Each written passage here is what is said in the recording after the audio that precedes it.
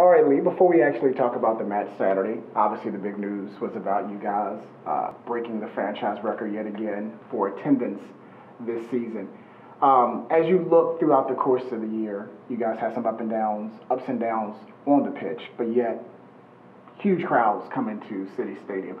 What does that mean for you as a franchise to see so much, you know, excitement from the fans to still come out to City Stadium to see you guys play? Well, well, first we haven't broken the attendance Well, close to breaking. just yet, but these next two games, the way uh, pre-sale has gone, certainly Saturday's game is going to be huge, one of the biggest crowds of the season. So we're certainly on course to break the attendance record for the fourth season.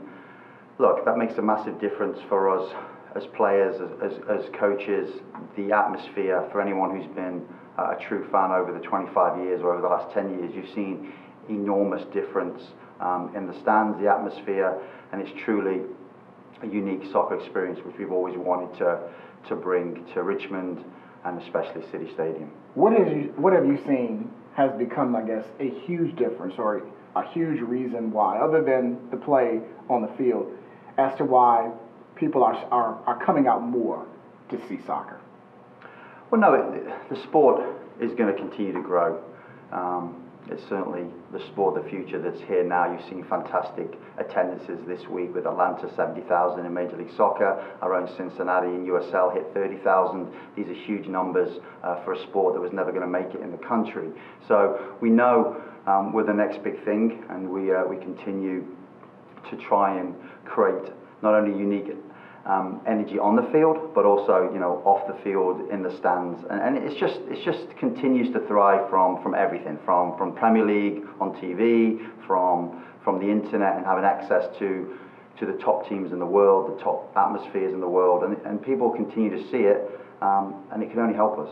Yeah, you touched, we touched on it when we did the story of the 25th anniversary. The fact that you have these Premier League teams actually coming here to City Stadium, I mean, that's got to help significantly as far as the improved turnout over the years. No, it, it creates enormous credibility. Nobody would have thought that we'd have played a Premier League team four years running from, in my opinion, the greatest sports league in the world.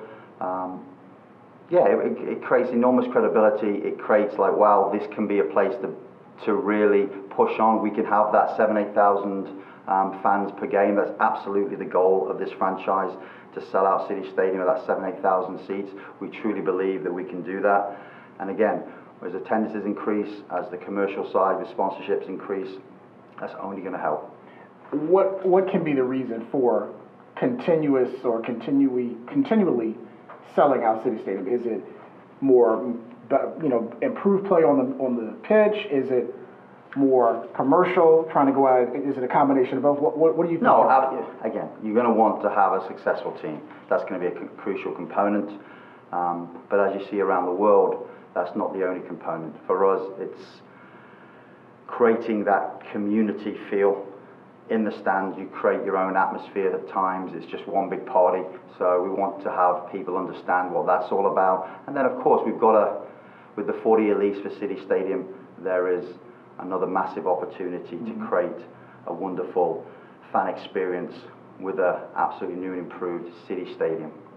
We talked about, I guess, a few matches ago, um, in regards to how you thought the guys had played, and um, I guess if, as far as pride is concerned. With that being said, you come into the home match against Rochester. Do you still see the strong play, regardless of the standings?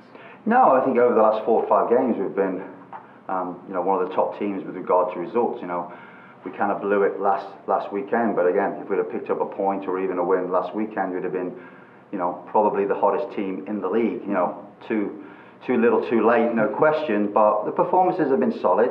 We know what we're lacking with regard to just the experience and you know the ability to perform in, in high pressure situations. But overall, you know we're moving in the right direction. And these next four games, the two at home, the two on the road, uh, are another big part of being ready for 2018. You kind